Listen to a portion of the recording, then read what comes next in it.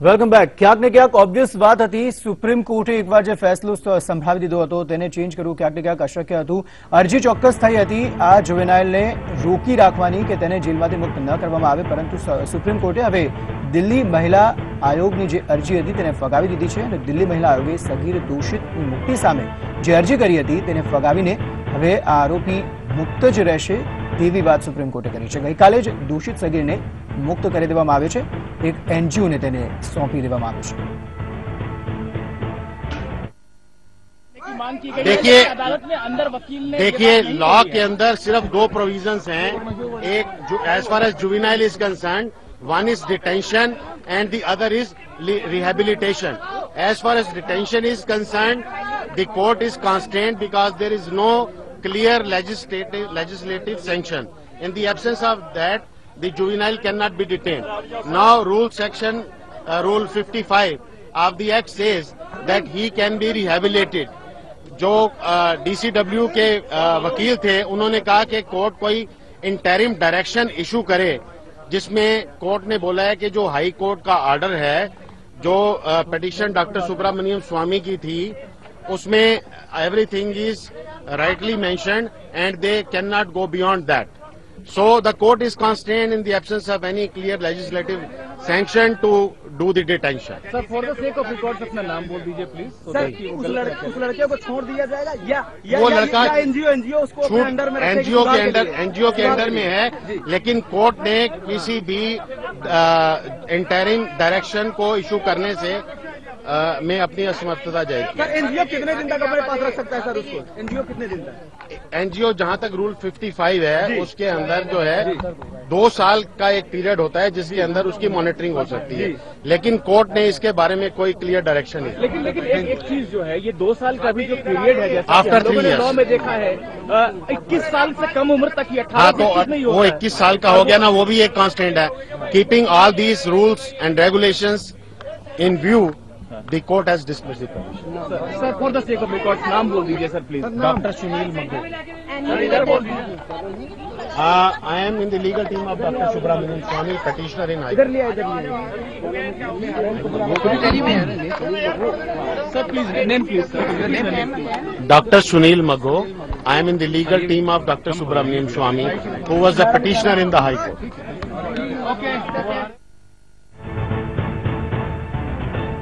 તો આખરે નિર્ણય આવી ગયો. જુવેનાઇલ જસ્ટિસ એક્ટ અંતર્ગત નિર્ણય લેવાયો છે કે જે જુવેનાઇલ છે તેને મુક્ત જ રાખવામાં આવશે. મુક્તિ કાયદા કાનૂન પ્રમાણે. સગીર દોષિતના અધિકારોનું હનન નહીં કરવામાં આવે તેવું સુપ્રીમ કોર્ટે અવલોકન કર્યું છે અને દિલ્હી મહિલા આયોગની જે અરજી છે તેને ફગાવી છે.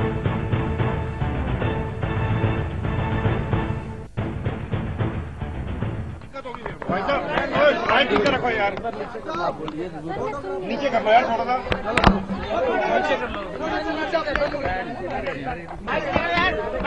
नीचे कर लो यार चलो चलो चलो। चलो जी एक बड़ा झटका सुप्रीम कोर्ट से क्या अगला कदम? कोई दिक्कत है क्या? माइक नीचे कर लो ना यार। नीचे। भी आ जाएगा हाथ नीचे बोल दिया सर इससे आगे चलो चलो चलो कोई थोड़ा नीचे कर लो यार इसको नीचे आ जाएगा। सबसे पहले मैं सवाल करता हूँ। स्वाति आज अदालत के फैसले के बारे में बताइए क्या कहा है सुप्रीम कोर्ट ने? आधा घंटा तक हियरिंग चली और सुप्रीम कोर्ट ने भी ये कहा कि हम आपके कंसर्न पूरी तरीके से शेयर करते हैं। लेकिन कानून इतना कमज़ोर है कि हम आपकी मदद नहीं कर सकते। तो मुझे लगता है आज का दिन बहुत ही काला दिन है पूरे देश के लिए कि अब एक ऐसा जुबिनाइल जिसने इस तरीके की गलत काम किया, वो शायद अब फ्री हो जाएगा।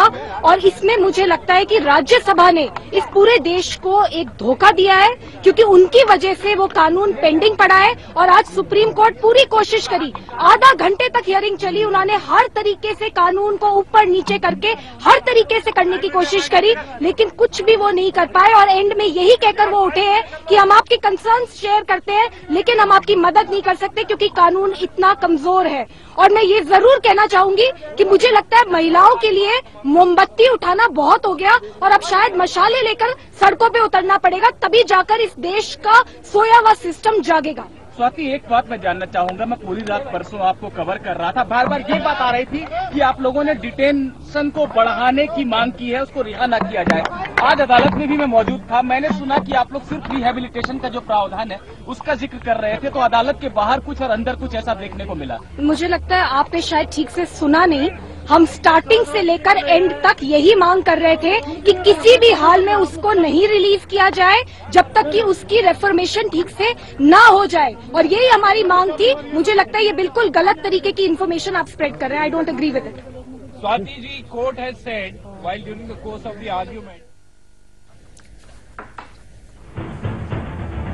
તો આજ મુદ્દે ચર્ચા કરીએ. હવે જુવેનાલ તો છૂટી ગયો છે, પરંતુ આ મુદ્દે ચર્ચા કરવા માટે આજે આપણી સાથે ઉપસ્થિત છે રુઝાનબેન ખંભાતા મહિલા એન્ટરપ્રિન્યોર સોનલબેન જોશી એડવોકેટ અને સોશિયલ એક્ટિવિસ્ટ છે, સાથે રૂપાબેન શાહ સોશિયલ વર્કર છે અને સાથે જ અલકાબેન જાની જેઓ પોતે એડવોકેટ છે.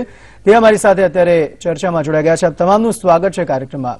રુઝાનબેન, સૌથી પહેલો સવાલ આપને પૂછવા માંગીશ. સ્વાતિજીએ જે પ્રમાણે હમણાં બાઇટ આપી, તેમણે જણાવ્યું કે હવે જે મહિલાઓ છે તેમણે પોતે જ આગળ આવવું પડશે અને મીણબત્તી છોડીને મશાલ લઈને હવે આ એક્ટને ચેન્જ કરવા અથવા તો કાનૂન વ્યવસ્થા જે નબળી છે જે બહાર આવ્યું છે હવે વાતને તે નબળી કાનૂન વ્યવસ્થાને ચેન્જ કરવા માટે મહિલાઓ જ આગળ આવવું પડશે. આપ શું કહેશો વિશે? સૌથી પહેલા તો આજે આપણને ત્રણ વર્ષથી ખબર છે કે આ ભાઈ અકોર્ડિંગ ટુ ધ જસ્ટિસ જ્યુવિલાઇન બોર્ડનું જે એક્ટ છે લો છે એ પ્રમાણે આ ભાઈ ત્રણ વર્ષ પછી છૂટવાના જ છે. બરોબર? એટલે એના માટે આપણે પહેલા તો પેલી જે જસ્ટિસ વર્મા કમિશન કરી જે પેલું ક્રિમિનલ એક્ટમાં જે હતું એમાં ચેન્જીસ લાયા. જસ્ટિસ જ્યુવિલાઇનમાં બી આપણે ચેન્જ લાવવા માંગતા હતા. કે ભાઈ અઢારથી સોળ વર્ષની કન્સેન્ટ કરીએ પછી બીજી બે ત્રણ ચીજો નાખી. પણ અલ્ટિમેટલી એમાં બહુ આપણે શું કહેવાય ડિબેટ થયું ને એટલું સારું કન્સલ્ટેશન નહોતું થઈ શક્યું.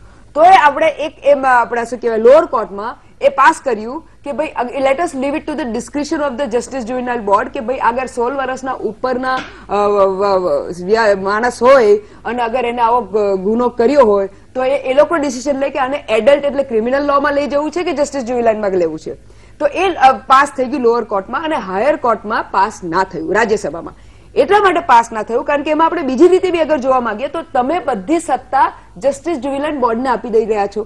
એ એ લોજિકલ નથી કારણ કે then the power goes to there એટલે પેલું કરપ્શન થાય અને બધી પછી આંગલીઓ ઉઠે એટલે એમાં એમાં કોઈ બી વ્યવસ્થિત એ લોકો એનું ચેકલિસ્ટ કે નહોતું મૂક્યું કે આવું હોય તો આવું થવું જોઈએ. અને એના લીધે ત્યાં પાસ નથી થયું. એટલે let's let's not make politicise it કે ભાઈ રાજ્યસભામાં પાસ ના થયું ને લોઅરમાં પાસ થયું. લેટસ નોટ પોલિટિસાઇઝ આપણે પોતે એ જોવાનું છે કે આપણે આનું વ્યવસ્થિત કન્સેપ્ટ જસ્ટિસ વર્માએ કેટલું સારું કામ કર્યું.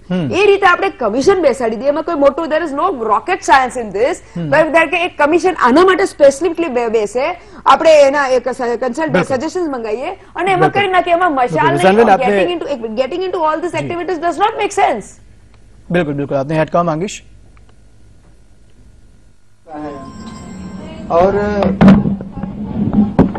सबने महिलाओं की सुरक्षा के लिए ये बताया कि कानून नहीं है, कानून नहीं है। और जुबनाइलों को एक राइट सबने दिया कि नहीं, तुम 18 साल से पहले कुछ भी कर सकते हो, तुम्हें कोई रोक नहीं रोक नहीं सकता, तुम्हारे लिए कोई रोक नहीं, कोई कानून नहीं है। आज सुप्रीम कोर्ट ने भी अंततः उस पर मोहर लगा दिया कि 18 साल का कोई भी बच्चा किसी का मर्डर कर दे, किसी का रेप कर दे, वो कुछ भी कर सकता है उसको पूरा अधिकार है। भारत में जुबनाइलों के लिए पूरा अधिकार है, लेकिन जो जुबनाइल बच्चियाँ हैं, जिनके साथ इस तरह का अत्याचार हो रहा है, उनका अधिकार का हनन नहीं हो रहा है, उनको सरप्राइज़ दिया जा रहा है, जुबनाइलों की तरफ़ से। ये कोर्ट भी जानती है, और कोर्ट ने बहुत अच्छा डिसीज़न दिया है कि कोई अधिकार नहीं, कोई कानून नहीं है। तो सुप्रीम कोर्ट पर दुनिया का इतना बड़ा विश्वास है तो अपने विश्वास पर कायम रहना चाहिए। कि सुप्रीम कोर्ट ने जो कुछ कहा है समाज के लिए बहुत अच्छा कहा है देश के लिए बहुत अच्छा कहा है और खासकर महिलाओं की और बच्चों की सुरक्षा के लिए तो उन्होंने एक मुहर लगा दिया कि हमने जो कुछ कहा बहुत अच्छा है। इस तरह के फैसलों से आप क्या मानते हैं कि बढ़ावा देगा आगे? ये तो देखिए